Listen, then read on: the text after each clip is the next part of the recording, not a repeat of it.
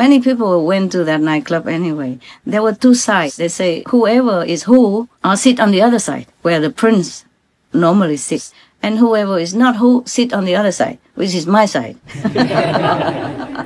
I didn't know anyway, but they just arranged there. I sat there.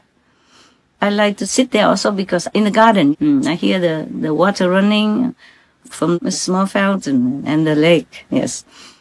Mm. I sat there and then he came and uh, we introduced each other and all that stuff. All right. And then so, hey, why did I say that again? Okay. Just talk about the girl. Just told me that she went there in the club and uh, he, she was with other friends. She didn't say girls or boys, uh, but a group more than just her, you know. And then the uh, they already kind of had uh, one too many drinks. Okay, that's what she told me. Already drunk. and the prince just uh, came out or leaving or going out of that uh, of that area. You know, maybe he was leaving to go somewhere.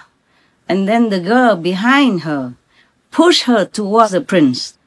Just push her to him maybe she was kind of adoring him or talking about him or something like that. So they just push her towards him.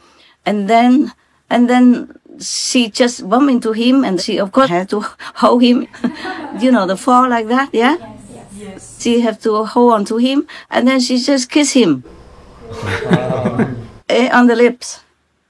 F- French kiss.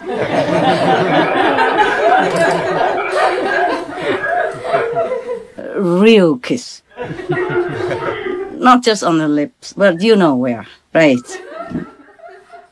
Not just the lips, but something else uh, behind the lips as well. French kiss. but they were French. They don't mess about. When they kiss, they really kiss. All opened. anyway, and the the prince is so friendly, as you know he is. Yeah, he kissed her back. Fine, good. And after that, you know, they became uh, friends. Okay, the French friends. Yeah, intimate friends. Also. So he visited her sometimes and all that, and she dro- drove him around sometimes like that. You know, they're having some good time together. Only she doesn't use him for anything, and uh, it's just like a simple relationship. The point I want to tell you is that I never heard that Prince Albert has sued or filed a lawsuit to accuse her of uh, sexual molestation. Yes, Master. Yeah. If any woman does that to a man, I don't think a man would sue them.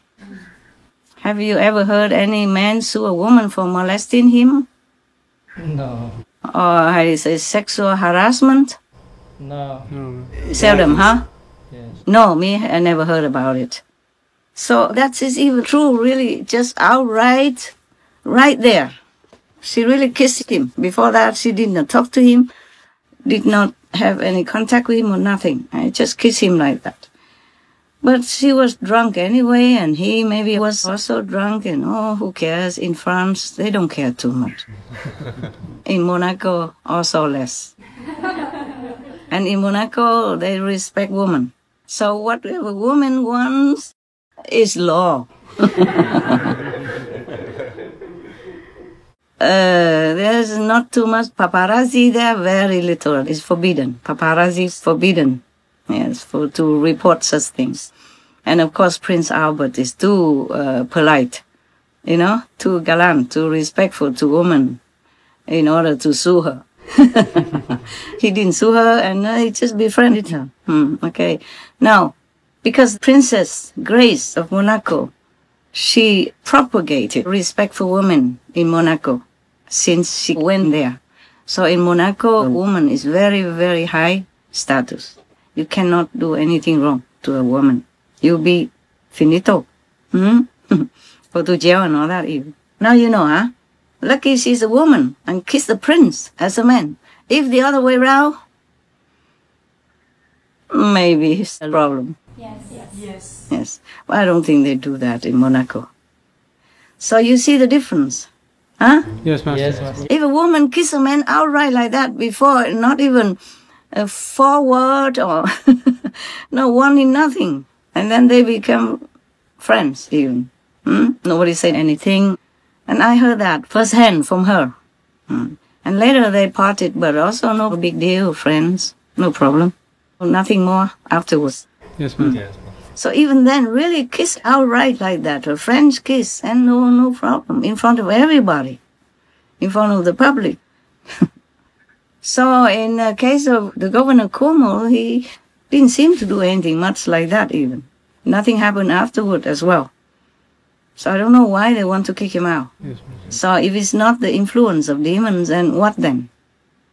There's no logic, is there? Yeah? No, ma'am. No, no. Yeah, after all, they all know he's a good governor, been voted three times by millions of people. And that is the, the public adoration, trust. Yes. Yes, So even just a few allegations like that, I don't think they should fire him at all. About the COVID, maybe he made mistakes or his administration made that mistake, but they make it everywhere.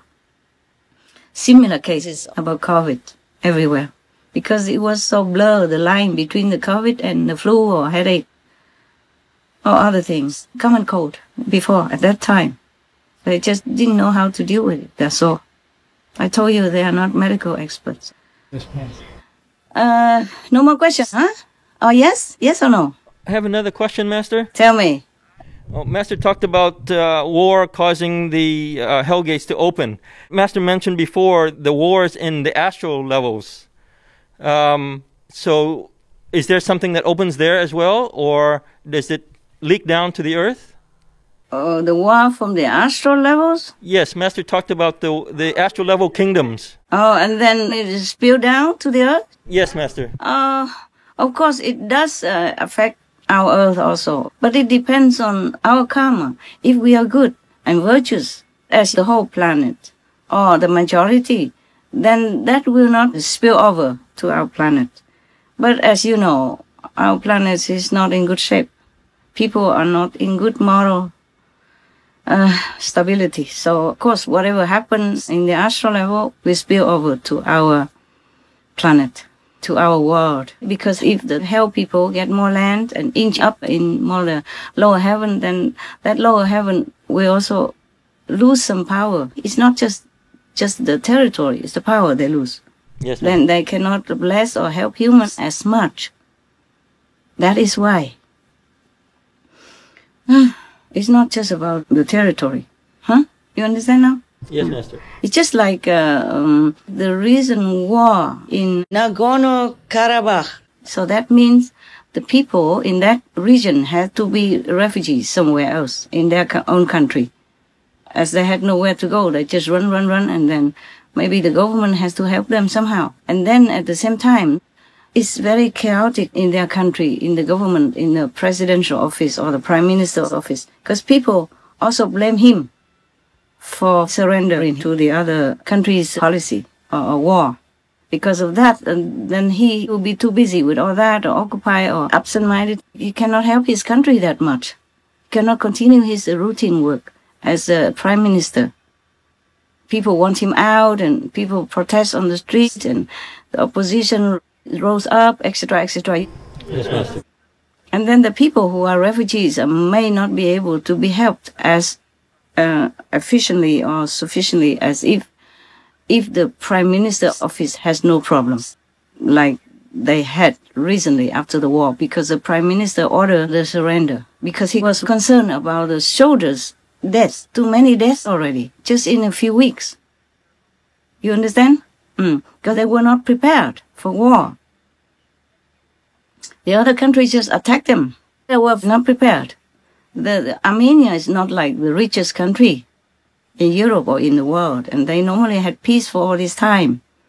So nobody was prepared in the heart or, or physically to deal with sudden war.